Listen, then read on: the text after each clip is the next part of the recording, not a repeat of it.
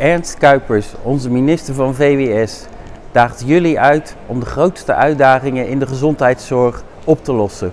Dat gaan we doen in een hackathon op 29 juni.